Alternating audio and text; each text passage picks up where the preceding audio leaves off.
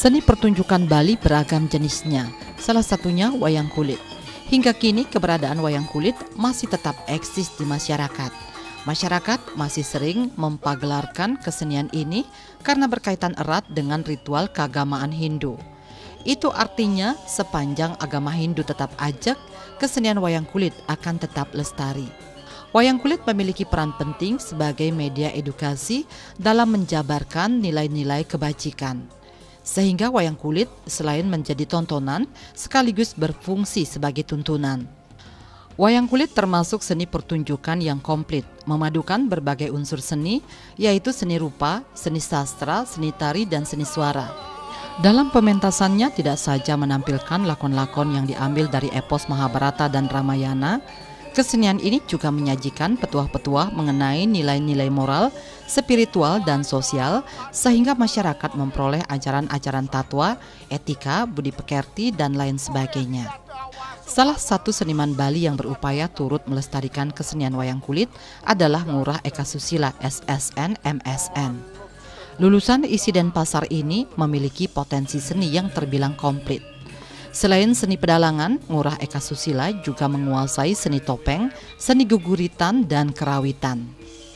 Bakatnya di bidang seni suara tersebut telah dibuktikan dalam lomba kekawin serangkaian Utsawa Dharma Gita tingkat Provinsi Bali dengan meraih juara satu berturut-turut pada tahun 1995 dan tahun 1996. Demikian juga dalam Utsawa Dharma Gita tingkat Kabupaten Badung tahun 1994, Eka Susila juga berhasil meraih juara satu dalam pembacaan sloka. Bakat seni ngurah Eka Susila menurun dari kompiangnya yang praginetari dan seni mandalang wayang kulit yang tersohor pada zamannya. Ayahnya Ide Pandita Empu Wiswarupa Biru Daksa adalah sulingkih yang juga seorang dalang wayang kulit. Bakat seni itulah kemudian terus dikembangkan agar bisa menjaga kelestarian warisan seni leluhur. Dari kecil memang memang suka nih dari SD yang sudah belajar dari lewat sanggar dan sering ayah di pura dengan tari baris pun kenten eh, SMP sudah mulai ke seni tabuh sebagai tukang kendang Belaganyu. Kenapa jadi pura? Karena di pura ini ada ada ada onen yang kita jadikan media dan waktu tiang muda sangar-sangar di lingkungan tiang itu sangat terbatas dan peralatan kendang gamelan juga sangat terbatas. Bis kedua teng ke dumun muruk kendang bisa ember pantingan nih ke medik kan gitu. Akhirnya ngelih-ngelih SMA setelah nari menggamel dia mulai tertarik dengan uh, olah vokal. Kemudian uh, atas tuntunan dia punya senior beli nyoman Wijo Widastra dari Munggu nih ke Wijilnya Arjo Akah Canging beliau yang membimbing dia dalam bidang nyanyi dilatih tiang cepat ngeguritan kemudian tahun 94 kalau tidak salah tiang diadu di di, di uh, lomba uh, sloka membaca sloka tingkat remaja. Kemudian ke provinsi juga tingkat remajanya lomba kekawin Astungkara sami boleh juara. Saking saking kumpi ampun. Anggap ampun dari Kumpi kemudian kakek tiang keburu uh, beliau meninggal. Akhirnya tidak Ningsir Lumun Mulake juga seorang dalang. Dan beliau mengawali juga dengan menari topeng. Akhirnya tiang mungkin lengkap mewarisi uh, wayangnya ilmu pertopengannya setungkara bisa tiang lakoni. Sekalipun belum sempurna tapi kebanggaan tiang seperti pepatah sudah merihakan bapo kan seperti ini kan bisalah kita lakoni yang ngayah ngayun semedon sarang satu Sebelum melakoni seni pedalangan secara mandiri, Ngurah Eka Susila juga sempat bergabung pada Sekewayang Cengblong, pimpinan dalang Wayan Nardayana selama 9 tahun. Di situ ia berperan sebagai juri tandak. Di Sekecengblong ini, Ngurah Eka Susila mengaku banyak mendapat sentuhan seni pedalangan dan pengalaman berharga lainnya. Tiang kenal dengan beli dalang di kampus. Kebetulan Tiang duluan kuliah dari beliau. Beliau tahun berapa kuliah? Ke Tiang 2001, beliau berarti 2002. Setelah kaset dia Ratno Takeshi-nya, beli dalang Cengblongnya kuliah dia. Yang ketemu di sana, tanpa sadar tidak ada dosen. Waktu itu dia main kenang sama teman dia main kenang. Beliau melihat dia ditawari ikut bergabung menjadi seketabuh itu akhirnya yang berpikir karena hobi nyanyi hobi teman nah nampaknya wayang ini perlu senor ada tanda. Akhirnya dia bisik-bisik dengan beli dalang di coba isinin tanda di ketika wayang keluar ketika adegan roman, sedih, angkat-angkatan, perang, dia yang nyanyi, beli tinggal aksen suara. Akhirnya beliau menyetujui. Pertama kali tiang pentas di Puro dalam Kesiman apa Puro Napi ini kan. Nah, di sana beliau senang, akhirnya tiang di, diikrarkan malam itu, wah mantap, lanjutkan gitu. Akhirnya dari 2003 sampai tahun 2011 pertengahan tiang banyak mendapatkan pengalaman dari beliau. Banyak ilmu tentang wayang tentang bagaimana caranya memberikan karakter pada wayang bagaimana caranya menyusun sebuah retorika pertunjukan sehingga ketika aksen kita akan melawak melucu bisa diterima. Pada saat itu terus terang yang jujur bukan menolak rezeki tapi sisi lain dia rasa ada sesuatu yang aneh dalam diri dia. Eh, dan ada janji-janji yang harus dia tepati dengan leluhur layan mau aneh sendepu kan seram nedos ada janji-janji leluhur yang nampaknya yang yang ditugasi harus dia jalankan.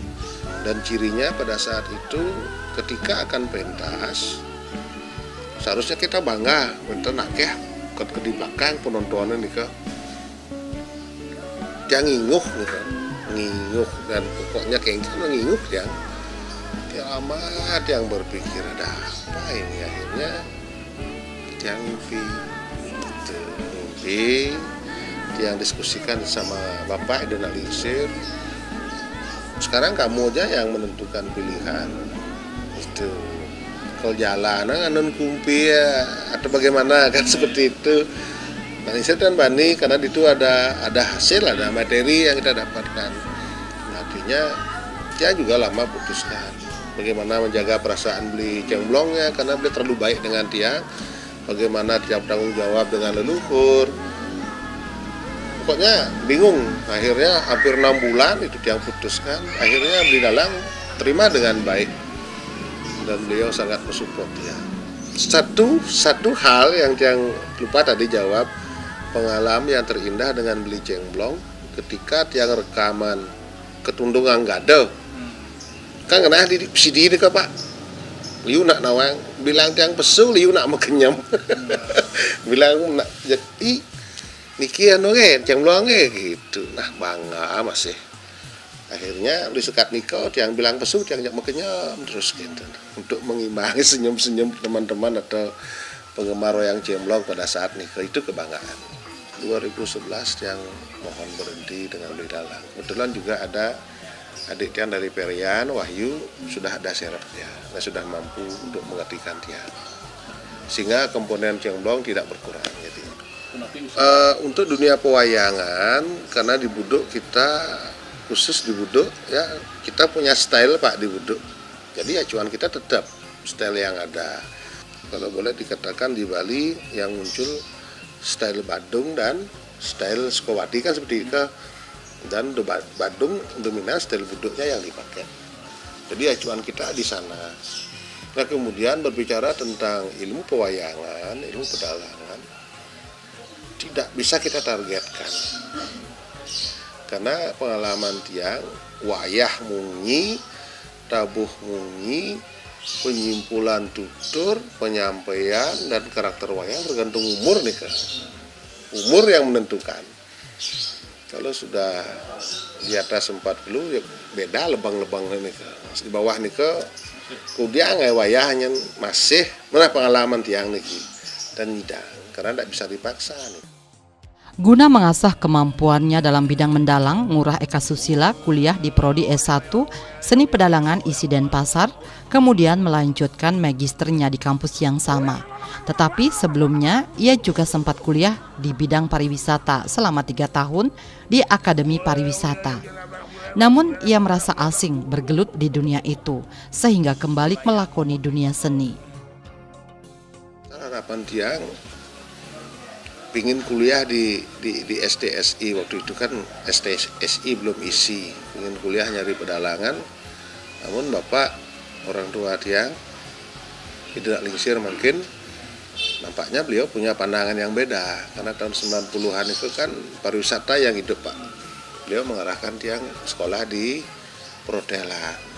Tiang ikuti tahun Bani tiang ikuti selama tiga tahun di di Akademi Pariwisata Ring Renon Nah Nika pun tiang merasa asing di sana karena itu bukan dunia dia, tapi tiang ikuti, tiang tamat. Nah cuman jadi diri dan ilmunya angin lalu saja.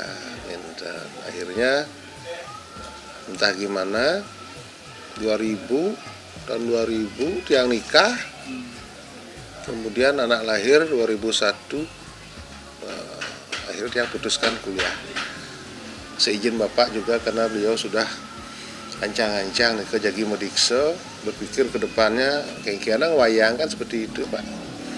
Akhirnya dia yang sekolah kuliah di SDSI dan Pasar waktu itu masih jurusan pedalangan nah, di sana dia yang bergaul mencari ilmu berbagi pengalaman dengan senior-senior yang lain.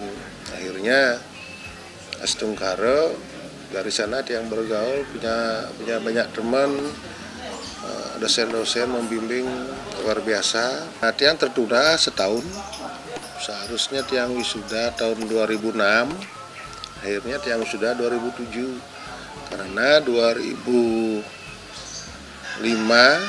Idana Insir Mungah melinggih mudikse tahun 2004 yang sampun mewinten 2004 ide munggah bawati 2005 beliau munggah sulinggihnya Aniko yang yang membuat kuliah yang tertunda lagi setahun.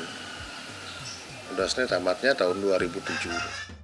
Selain mendalang, Ngurah Eka Susila juga bergabung pada Seketopeng Inovasi STI, pimpinan Ide Bagus Ketut Indra Darmawan alias Agung Asep. Di STI ini, Ngurah Eka Susila memerankan figur Ngurah Ondo sehingga ia dikenal dengan sebutan Ngurah Ondo. Di STI inilah Ngurah Ondo makin mematangkan kiprahnya di bidang seni topeng inovatif untuk menghibur masyarakat. Bulan April, sekarang yang berhenti bulan April lagi 15 harinya tiang kena musibah yang luar biasa. Anak tiang yang pertama meninggal itu pada umur 10 tahun kelas 4 SD sakit dua hari tiang merasa sangat terpukul dan pokoknya dan, dan bisa tiangnya tuang kini rasa nak sebat kinten. Sampai saat ini masih terasa. Itu tahun berapa tahun 2011 bulan April. Antara tanggal 24 25 nih ke meninggalnya. Nah, setelah nikah yang merasa tidak punya keyakinan tidak punya kepercayaan diri selama dua tahun nih kedek kedek nyedang yang kedek cuman di tengah puyung nih ke api anu cara gening Mas Anang nih ke kan separuh jiwaku Jiwa. pergi ya Ike. nah Niko mungkin bisa langsung ke STI ya Nanti nah terkait nih ke ketika tiang sedih 2011 memang si di STI niki teman-teman lama yang mewadahi mereka hadir ke sini kan melayat ini ke ketemu dia melihat yang sedih. Nah, pada saat proses memukur teman-teman ini ingin ngayah nopeng. Nah, dia pentas di sini. Tiang dia tiang dihibur tiang dihibur kemudian Benten galah ngayah tiang diajak di, di mobil dalam mobil tiang gaya gede. Terus sehingga tiang nyaman akhirnya tiang ikut ke dagu untuk ngayah-ngayah kembali dulu dan kemudian berkembang terbentuklah SDI eh, seperti sekarang ini. Nah, tiang memerankan eh, sebagai ngurah hulu di sana. Karena kan tiang nggak mengalir aja. Dalam arti malah beberapa topeng bonres kok justru topeng itu yang tiang ini? Udah negen bangun gitu. Akhirnya melihat jenang tapel nah jenangnya cara moyo lengah-lengahan nih kok nah itu yang tiang perankan dikasih nama orang itu lengah nih kok lengah kalau bang dua gitu kadang-kadang dia ceplas-ceplos karakternya. Sembari waktunya mengalir dia mengalir, mengalir. sulit untuk memerankan itu nih awal-awalnya sulit pak. Ngain banyak nak kedek terus kan susah nih ke tapi sembari waktu berjalan aku maka rasang karakter kesan-kesan yang yang yang yang tidak pernah kita lupakan. Dan kesan-kesan yang yang yang indah lewat Bonres SDI ini kita banyak kenal tokoh-tokoh politik. Masuk ke dalam pemerintahan. Ada kegiatan di pemerintahan kita diundang kita main. Sehingga pejabat-pejabatnya ke banyak kita kenal di semua ini kita bisa masuk di masyarakat di pura di di ulang tahun muda-mudi Pria kelahiran 1977 ini merasa terpanggil untuk meneruskan warisan seni leluhur agar tetap ajak lestari. Karena itu kegiatan mendalang menjadi pilihannya selain mengembangkan seni-seni yang lain. Melalui kemampuan seninya itu, dia memiliki kesempatan nguali di sela-sela menjalankan swaginanya sebagai pegawai di Pemka Badung. Di rumahnya Gri Agung Adik Sasari Banjar Umakepuh, Desa Buduk Mengui Badung, Ngurah Eka Susila mendirikan Sanggar Waduk yang singkatan dari Wayang Buduk pada tahun 2013. Sanggar ini didirikan untuk turut mengajarkan seni dan budaya Bali. Karena itu, generasi muda yang tertarik belajar kerawitan diberi kesempatan berlatih di sanggar yang dikelola sepupunya Igede Mega Palguna SPD, lulusan Sendra Tasik IKIP PGRI Mahadewa Bali. Sanggar ini sempat menerima hibah seperangkat gamelan Semaradana dari Bupati Badung Kiri Praste tahun 2017. Suami Nimade Aryati dan ayah dari Ayu Rada Maheswari dan Agung Maheswara ini berharap kesenian wayang tetap lestari. Sebab kesenian ini ada hubungan dengan ritual keagamaan Hindu. Sepanjang agama Hindu ajak, seni wayang akan tetap lestari. Karena itu generasi muda diharapkan terpanggil untuk melestarikan kesenian ini ada adik-adik yang mau ikut bergabung kebetulan adik sepupu yang juga sami senang berkesenian yang impun seke tabuh yang bentuk sangar waduk nika. sangar seni waduk waduk nika panjangannya wayang buduk. Kalau tidak salah antara tahun 2012 eh, 2011 2012 nih yang ikram kat sangar yang eh setengkareng wali-wali memarugi. Cuman belum terkenal pak terkenal itu kan dalam tanda kutip menurut selera. Wayang baik eh, tradisi ataupun hiburan menurut yang tetap menggunakan pakem dia. Inovasi tambahan itu hanya sisipan yang yang memperkuat sebuah pertunjukan. Tetap pakem. Karena apa? Sekalipun itu wayang hiburan karena dalang disebut di sana berperan sebagai guru lokal dia. Guru lokal yang selain tontonan kan ya dia bersifat tuntunan pak. Tuntunan. Bis duang jam wayang sing adeng mang tutur ke masyarakat kan tan wayang ada ane kang ya. Nge apa mana ada ane wayang nak mulai tutur pokoknya. Karena anggap saja bukan mengagung-agungkan tapi realita di dalam seni wayang eh, pelaku seniman ini harus harus semua tahu dari seni tabungnya tarinya kemudian olah vokalnya, kemudian unsur sastranya. Makanya ilmu pedalangan dikatakan uh, penyimpulan ilmu seni-seni yang lain. Tapi sekarang yang lihat banyak dalang muda muncul. Jadi uh, jadi dia harus menyadari dari dalang nih ke nak orang pang bisa mau basang pekan bang kita mau basang pekan di pekan kan liu satu orang ke pak. Banyak hal bisa terungkap di sana. Informasinya cepat dalam dunia politik isu apa ada di pekan. Nah dalang pun seperti itu kalau bisa. Selama agama ini wajar dijaga teh wayang kan tetap aja karena antara upokaro, agama dan wali ini ke sebuah satu lingkaran yang dibutuhkan oleh masyarakat, Pak. Kiprah Ngurah Eka Susila melakoni seni mendapat apresiasi dari ide Pandita Empu Wiswarupa Biru Daksa dan ide Pedanda Empu Istri Yogi Swari Biru Daksa. Ide Pandita Empu Wiswarupa Biru Daksa merasa senang Ngurah Eka Susila mampu melestarikan seni warisan leluhur, khususnya seni pedalangan. Diharapkan ke depan, kesenian wayang kulit makin lestari. Yang sangat senang sekali nak makin nggak? Waktu kita bisa seperti ini makin ada picane Pak Bupati ngican gong segala macam. Ada cucun-cucun dia ponaan yang mau dilakukan kesenian itu luar biasa bagi tiang karena orang tua tiang di kekek tiang itu orang orang berkesenian. Tetapi pun tidak tidak akademis nak. Kan begitu nggak nah, yang senang. Karena kesenian itu banyak sekali anunya. Apa dan eh, keuntungannya lah boleh dikatakan. Membuatnya mau berayu mengembangkan bakat segala macam.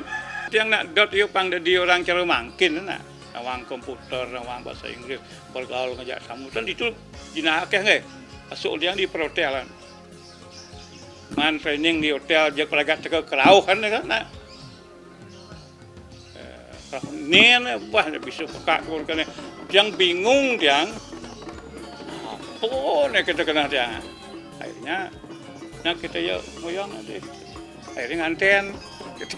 Terus gua nganten, nganten, nganten, nak gitu, dia nak, dia nak bebas kan ya. Udah gitu. Pak jangan ke kuliah Pak. Nah kuliah aja mau kita cari sebuah buku. Nah begitu prosesnya. Yang nggak jahit apa nak? Jangan juga nggak ngerti menjelang di akhir kuliahnya itu kan sering praktek luar. Terus nyidang liwat tekenang kesu uh, de, apa ngekian kesu dalam cerita nih. Terus nyidang liwat akhirnya yang memutuskan diri untuk menggah bawati dia kini salin benar barang-barangnya mau winten winten dalang bapak ke winten bawati urut nak malu deh.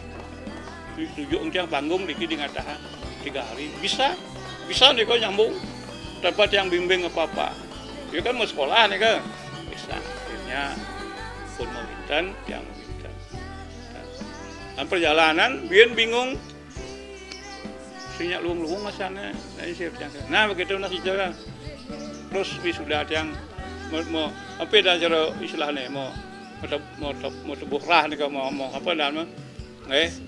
Menjelaskan. Nih ke wow bebas nih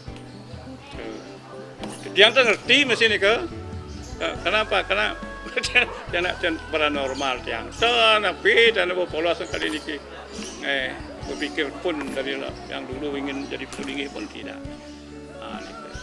Ikat yang sangat bahagia sekali apa yang malih dan ngelah grup STI sekarang ini Nawang. Wah, gen niko masa dia belum pandemi ini kan eh. Yang juga ada rasa kecewa tapi Jod ngomong ya iya kan dan mana kan. Semua semua hilang, macam tengah ibin hilang, sanjo petang ge. Bapak aja ge kita nak luas kan. Keceran ini ngomong. Itu ada juga anunya nak peselais ada masih buruk nih gitu. Jadi nyida ngomong terus dan kijo.